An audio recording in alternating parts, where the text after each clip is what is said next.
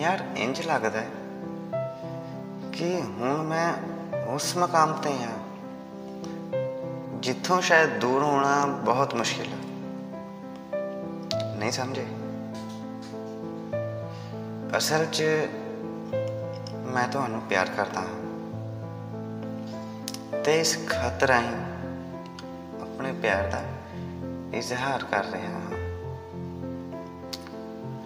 ਸ਼ਾਇਦ ਹੁਣ ਰੱਬ ਵੀ ਮੈਨੂੰ ਤੁਹਾਡੇ ਤੋਂ ਵੱਖ ਨਹੀਂ ਕਰ ਸਕਦਾ ਸ਼ਾਇਦ ਨਹੀਂ ਕਰ ਸਕਦਾ।